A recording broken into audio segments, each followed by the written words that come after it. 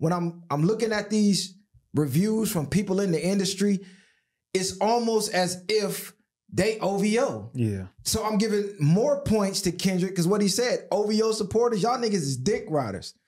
I'm starting to believe y'all don't like the West Coast.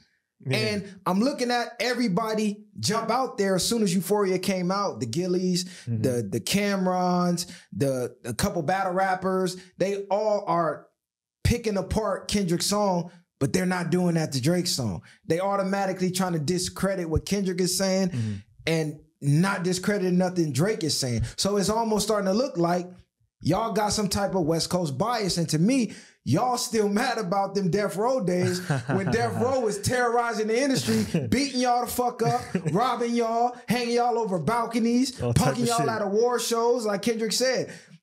Ain't nobody never took my food. Yeah. Basically alluding to a lot of y'all done been punked out here by the West. Y'all come out to the West, y'all getting extorted by the gangs. Y'all gotta y'all gotta pay the gang soon as y'all get off the plane. If y'all don't, y'all getting robbed. Y'all come out here, your artists getting shot. A few artists got killed. So it's starting to feel like y'all are rallying against Drake with your West Coast hate. Mhm. So shout out to Kendrick for taking that on. Like he said, I'm fine with it. I'll push the line with it. Pick a nigga off one, at a time, with it. We could be on. a three hour time difference. Fuck is you talking about? Like if y'all all got smoke, speak up. I'll pick one. I'll pick y'all off one at a time. Let's get it.